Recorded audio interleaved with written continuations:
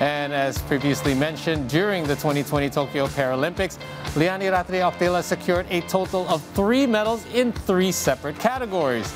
They're in mixed double, women's doubles, as well as women's singles. Now, the 30 year old played all three matches within a span of 10 hours. Let's find out how she managed to get through it by connecting right, right away uh, with the one and only Liani Ratri Oktela. We're going to discuss this in uh, Bahasa. Uh, ada juga Mbak Alim, Mbak Ratri, selamat pagi. Apa kabar? Sehat-sehat? Pagi. Sekarang Sehat. sedang oh, sebelum pulang dari Tokyo, masih di sana? Iya, masih packing-packing nggak? Oke. Ini nanti siang kita ke bandara. Oke, dan uh, sebelumnya uh, mau, mau menanya yang saya bahas tadi uh, di dalam uh, waktu durasi 10 jam, uh, Mbak Ratri harus uh, berkompetisi tiga kali. Terutama itu uh, emang jadwalnya kebetulan jadi padat gitu, dan gimana caranya untuk jaga stamina sampai bisa bukan hanya compete tapi bisa menang lagi. Sebenarnya nggak nggak kebetulan padat, cuma karena saya turun di tiga kategori, jadi Hmm. mungkin kalau memang turun di satu kan hanya satu, karena saya turun di tiga kategori otomatis main tiga kali Iya. dalam waktu 10 jam itu. Tapi hari kemarinnya saya main empat kali. Jadi kalau untuk menjaga stamina, menurut saya itu menjaga stamina itu lebih ke waktu latihan kemarin. Oke. Cuma ketika di final, saya yang di partai single saya tidak bisa menampilkan yang terbaik karena nggak bisa diakui mungkin memang lelah karena malam sebelumnya itu saya tes doping sampai larut malam. Oke ya wajar juga ya kalau emang uh, sampai final kan itu benar-benar terakhir juga. Kalau uh, Mbak Alim sendiri sempat ada tantangan yang serupa nggak?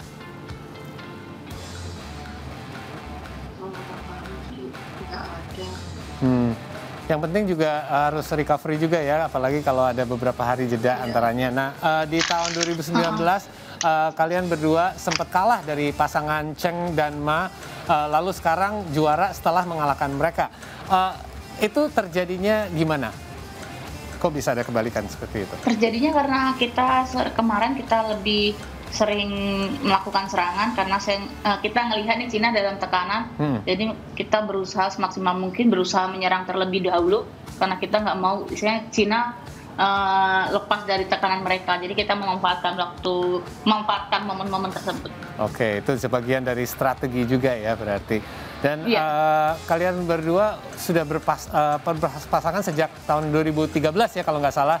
Dan sepertinya sekarang Iya, betul. selalu kompak dan eh, akhirnya ya kita lihatlah hasilnya bisa meraih emas karena komunikasinya lancar.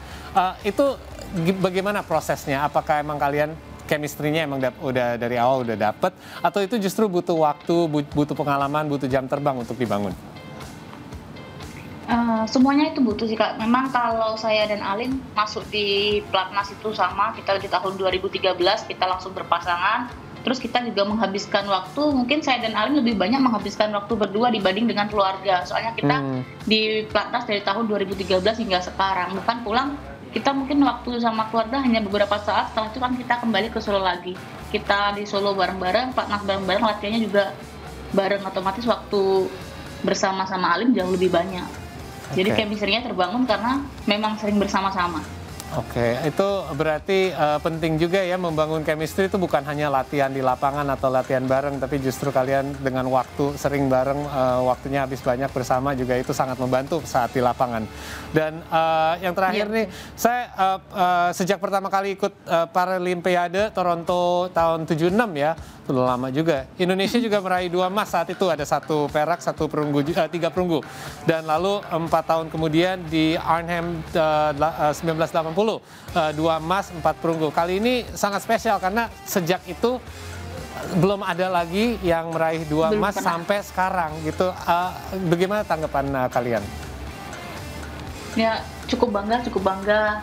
Nah, saya perjuangan kami nggak sia-sia kita bisa mengharumkan nama bangsa, kita juga bisa mengangkat nama organisasi NPC Indonesia dengan meraih medali emas, kita juga bisa menorehkan sejarah di sini. Itu kan benar-benar impian semua atlet bisa meraih medali di ajang tertinggi dunia ini, Kak. Ya kami juga sangat bangga. Kok gitu kalau bahas dari tadi merinding-merinding kalau eh, baca cerita beritanya lagi. Eh, yang terakhir nih eh, ada nggak yang eh, kalian ingin sampaikan terutama bagi regenerasi atlet disabilitas?